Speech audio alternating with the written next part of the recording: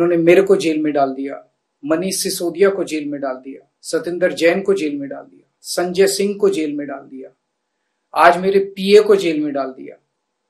अब ये कह रहे हैं, राघव चड्डा अभी अभी लंदन से लौटे हैं, कह रहे हैं, राघव चड्डा को भी जेल में डालेंगे।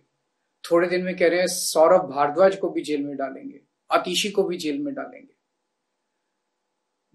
मैं ये सोच रहा था कि ये हम सब लोगों को जेल में क्यों डालना चाहते हैं? हमारा कसूर क्या है?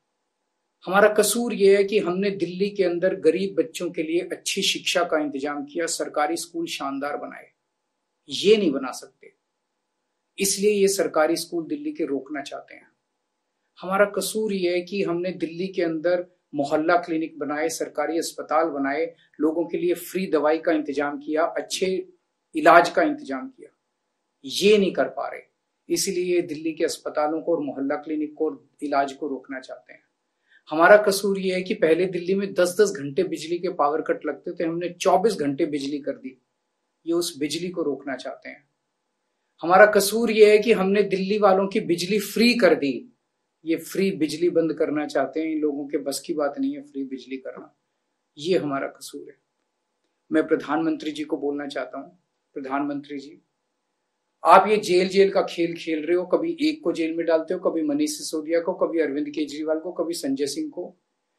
कल मैं 12 बजे अपने सभी बड़े नेताओं के साथ एमएलए एमपीज सबके साथ 12 बजे बीजेपी हेडक्वार्टर आ रहा हूँ।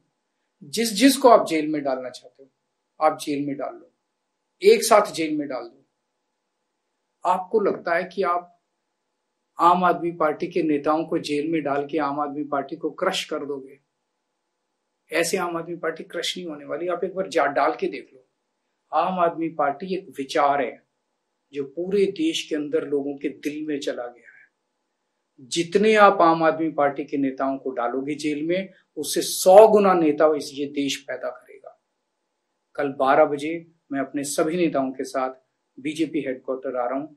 जिसको आपको जेल में डालना आप जेल में डाल दो।